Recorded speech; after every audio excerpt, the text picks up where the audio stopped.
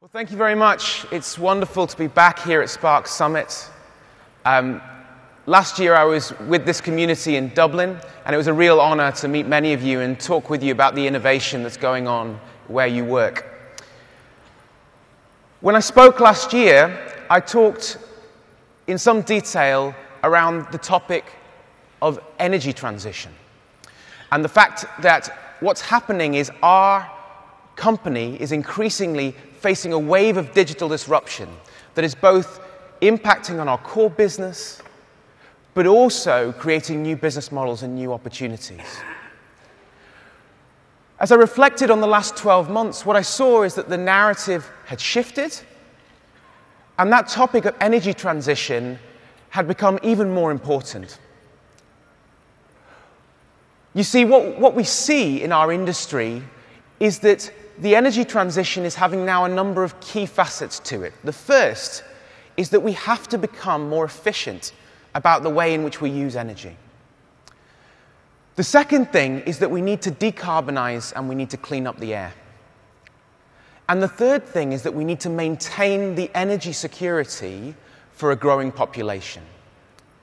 And that's a huge challenge. It's a challenge for all of us. I would argue that it's the biggest challenge we as a society will, will face. But what is encouraging about this is that we see the potential of digital technologies to play a key role, if not the key role, in doing this. A global e sustainability report called Smarter 2030 found that around 20% of global CO2 emissions could be reduced if we're able to deploy digital technologies at scale. And also, that would keep us at 2015 emission levels. That's a huge change, and it could have a dramatic impact. And what I see in my company at Shell gives me a lot of confidence that we have the potential to do this. Because what's happening is that digital technology powered by AI is infusing our business from exploration to production, from refining to blending, and from our retail business to our new energies business, with things like smarter charging for electric vehicles emerging. And this is exciting, and it's exciting for a number of reasons. It brings together a number of business priorities. These technologies can make us more effective and efficient. They can help us in terms of transforming the way in which we do things, making our operations more reliable, and making us the world class investment case that we want to be for our shareholders. But not only that, they can contribute to making us more efficient in terms of the way that we use energy, and they can also make us safer. And the great news for this, this community is that the technology that supports this change is speeding up. I was delighted when I saw that they changed the title of this summit to Spark and AI, because I think that better characterizes what this community is all about. It's the computational power of Spark deployed into the cloud, enabling us to run things at scale in conjunction with the underpinning data science frameworks, the R's, the Pythons, the TensorFlows, that's actually underpinning what you see on the screen right now. And to give you an idea of how fast this is moving, last year when I spoke to you, I talked about the potential of machine vision in our thoroughly uh, physical value chain. Let me show you how we got on. Let's roll the video. Retail is a key engine of the Shell Group. We have 30 million customers every day. Shell's retail goal for safety is linked to making sure that our customers and our staff are safe at all times. Our retail sites are exposed to safety risks ranging from vehicle hitting someone, theft, smoking, also things like wrong refueling behaviors. Being able to detect those in near time and potentially intervene could be very, very beneficial for us. It's very labor intensive to analyze the hours of CCTV footage that we capture on our retail sites every day. With computer vision, we've developed a collection of machine learning models that can identify events of interest at the edge in near time. We can pass those into the cloud for tight processing. The Azure cloud is powering this transformation we're now able to take a lot of the platform as a service offerings that Azure gives us, things like IoT Hub and Azure Databricks, combine them with open source technology like TensorFlow and Kafka, and bring that together into a solution quickly. What deep learning gives us is the ability to find events that might be interesting, but it also allows us to use labeled footage to train our algorithms and continuously improve.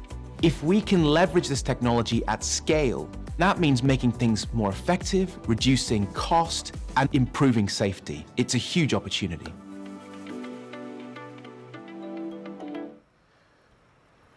So sometimes you hear marketing messages and they kind of go over your head or don't make sense. Um, and I'm a big skeptic when it comes to marketing. But I think what's happened recently is there's been a few messages that have really resonated with me, and I'm just going to talk about them. The first was a, a message around Software 2.0. Uh, it was an Andrej Karpathy blog, and, and, what it talked about was the way in which the, the software development process is changing and is being increasingly infused by machine learning based approaches. And I think that's utterly transformative. It's going to transform everyday packages like Salesforce and Microsoft Word and Excel, but it's also going to transform the way in which we do things internally and where we build software for our business. The second message I wanted to bring out was the message of this conference, which is about unifying analytics between data engineering and data science.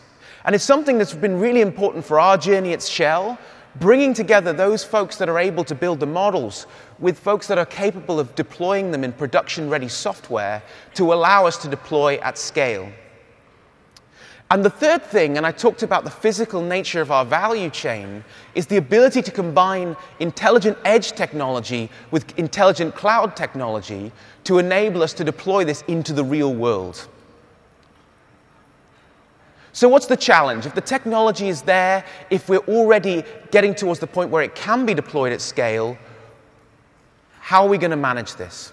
And I think ultimately, the big challenge for us, the thing that's stopping us moving forwards, is ultimately our ability to embrace the technology quickly. The term tech intensity has been brought to my attention recently. In other words, the time it takes and the output of a company's scientific research as measured you know, as a function of its productivity. And that's a real challenge with technology like this that's moving incredibly quickly. How can we build that tech intensity to move things from concept to production in a shorter and shorter time scale? But it's also not just what we're doing, it's how we're doing it. Because we have to build a new way of working too. We have to embrace agile. We have to embrace minimum viable products. We have to embrace, embrace own, uh, product ownership. Things which are much more common in the software industry than they are in industries like ours. So we have to change. But finally, our culture has to change too. We've got to be in a position as an organization where our culture embraces these things, where learning from doing is okay, where failing is okay, where we can iterate quickly and where people are willing to work with us to develop these minimum viable products that are so transformative. And so that's the challenge. But here too, I think I see a building momentum. And the momentum build I see is encouraging. We have 2,000 people in our analytics network running 40 plus events every year. We have 550 paying subscribers to our analytics lab, people who are developing algorithms just like many of you are, using the same technologies and enabling them to deploy them into production platforms. We also have 120 data scientists who support them and coach them and mentor them and help them with this. We have 100 plus projects. We have 15 of those sponsored directly from our executive committee. And we also run about 40 events a year in our analytics network, as I said, and about seven of those are hackathons where we go in and we solve a problem together with the business within a week. But that's not enough. We talk at Shell about the need to power progress together. What we mean by that is that ultimately our ability to transform the energy system is not dependent on one, com- one company or on one institution. It's our ability to work together that's going to matter. And we're planning to launch this website in the next week. You can find much of the content today at shell.com forward slash AI.